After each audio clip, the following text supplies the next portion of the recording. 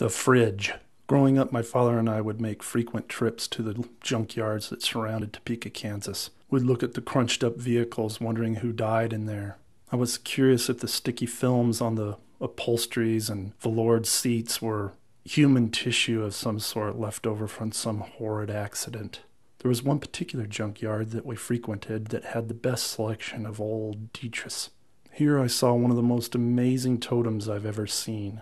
It was a pile of hundreds upon hundreds of old Frigidaires. I knew from the fearful stories that my mother told me that I should never go close to an old fridge, that I should never pull open the silver door handle and slide into the fridge to hide in hide and go seek games.